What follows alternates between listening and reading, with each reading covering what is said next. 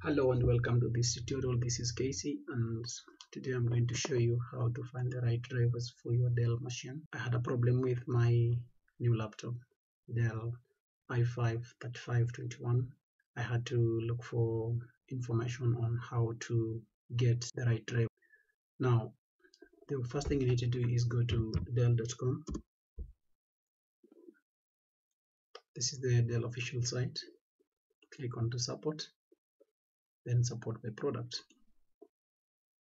Okay once you click on support by product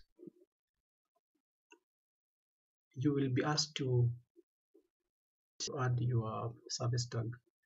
There's a window that opens up here and you will add the service tag. This is my service tag for my machine.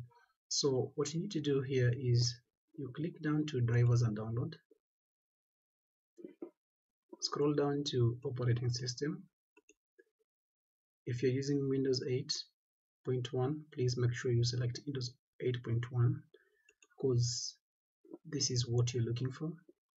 One of the biggest possibilities is that even some of your drivers that you're currently using you may find that they are not the same. They, they could be eight. They just they are compatible but not they are they're not the right drivers for your product.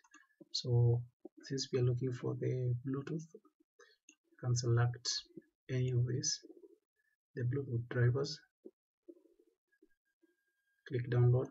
It's 7 it's uh, 272 MBs download run restart your machine and you're good to go.